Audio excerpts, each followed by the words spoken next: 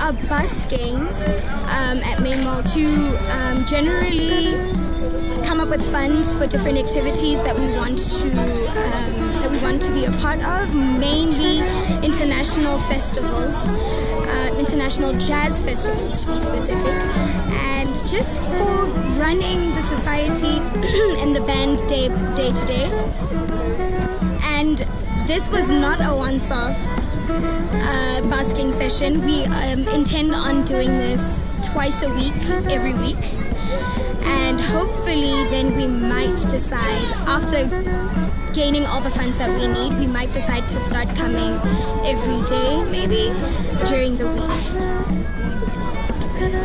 My name is Timisang Metisen and I am part of the Botswana Society for Jazz Education Junior Band.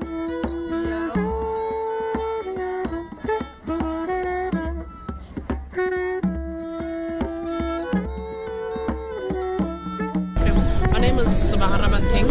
I am a saxophonist at the Botswana Society for Jazz Education.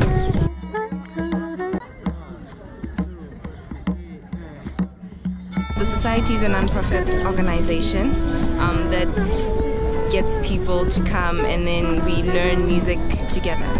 And so we've been doing covers of songs, especially our traditional folk music as the junior band, so that we can come and play for our people. My name is Andriana.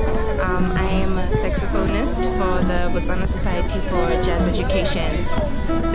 The end goal, okay, so the chairperson, um, her name is Akutleleng Mohani. Um, so her vision for this was she wanted jazz to be something that's everywhere, from Gaborone to Manyana to Shakashoka. She wants this to go epic, um, and she wants everybody to understand jazz. When people say jazz, I think they have a misconception misconception of what jazz is. Um, so she wants us to play real jazz, like the New Orleans jazz, the real jazz that was formed in the 1950s, and we can get it out there in our country, and then people for people to appreciate that sound, and for them to also to see us as Botswana, especially the youth, because she's very passionate with people our age, um, for them to see us as well, playing and hearing us, and hearing us playing our folk music and making us big, yes, as a country, and our culture to go out there.